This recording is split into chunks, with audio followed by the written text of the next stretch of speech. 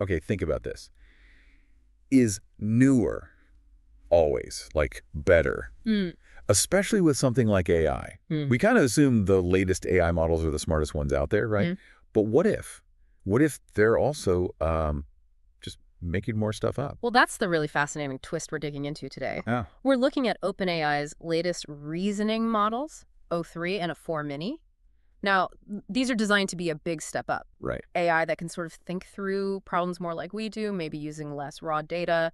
It's a huge focus in AI right now. Okay, so reasoning models, let's unpack that a bit. It's not just pattern matching on like tons of data. They're meant to actually reason, figure things out. Exactly. That's the goal, to grasp connections, make logical steps, you know, closer to how humans solve problems. And that could make AI way more efficient, more accurate, hopefully. But, and this is the part that gets me, these new super advanced reasoning models, they're actually hallucinating more. Yeah. Like stating things confidently that just aren't true. more often than some of OpenAI's older models. It feels really backward. It does seem counterintuitive, doesn't it? And that's the core question we're exploring. Why is this happening? Okay. So we've pulled together some different sources to try and get a handle on it. We've got OpenAI's own technical report on these models. Right, their own findings. Then there's independent testing from Tra Transluce. They're a nonprofit AI research lab. Okay, an outside look? And we'll also bring in some insights from Kian Katanforoosh. He's the CEO of Workera and teaches at Stanford, actually works with these models. So different perspectives. Gotcha. So the mission for this deep dive is basically understand this weird increase in hallucinations, figure out what it means for AI development, and maybe most importantly, what it means for you listening right now as you run into AI everywhere. Exactly.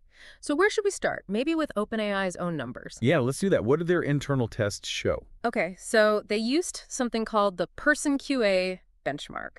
It tests how well the AI knows facts about different people. Yeah. And the results were, well, surprising.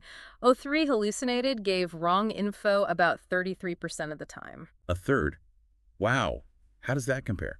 Well, their older reasoning models, like O1 and O3 Mini, were down around 16% and just under 15%. So yeah, it's basically doubled. Couple. And O4 Mini, even higher, it was hallucinating nearly half the time, 48%. 48%. That's Yeah. that's really high. It's like upgrading your phone and suddenly half your calls drop. Makes no sense. It's a good analogy, yeah. And it's not just getting simple facts wrong. Transluce, the independent lab, they looked at the kind of errors. they mm-hmm. found O3 actually inventing actions it supposedly took. Like, it claimed it ran code on a specific computer, copied the output, stuff it literally can't do in its current setup. Whoa, wait. So it's not just wrong.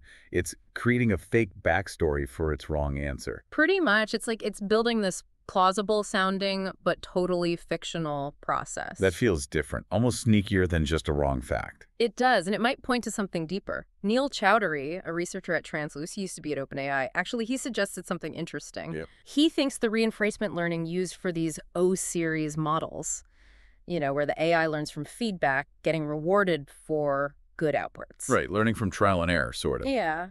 That process might actually be amplifying some underlying weaknesses, issues that maybe older training methods didn't bring out as much. Huh.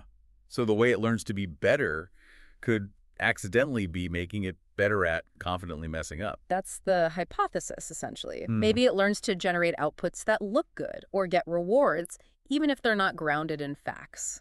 Sarah Schwettmann, also from Transluce, pointed out this could actually make O3 less useful for you in practice, despite its strengths elsewhere. And we're hearing this from people using it too, right? You mentioned Kian Katanforoosh at Workera. Yeah, exactly. He said O3 is actually pretty good, even promising, for coding tasks. Okay.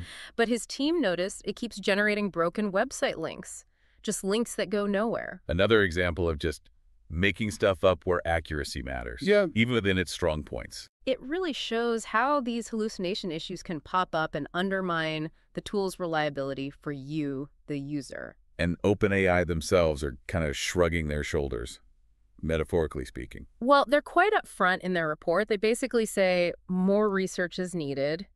They admit they don't fully get why scaling up the reasoning capabilities seems to be linked with more hallucinations. Quite an admission, isn't it? When the creators are saying, yeah, it's doing this weird thing and we're not totally sure why yet. It really highlights the complexity we're dealing with here. These aren't simple machines. OpenAI notes that while O3 and O4 Mini are better at things like coding or math, they also just try to make more claims overall. Ah, I see. Which means, yeah, they get more things right, but they also produce more incorrect stuff too. It's like they're taking more shots, but their accuracy per shot hasn't necessarily improved in this area or has even gotten worse. So there's this trade-off happening.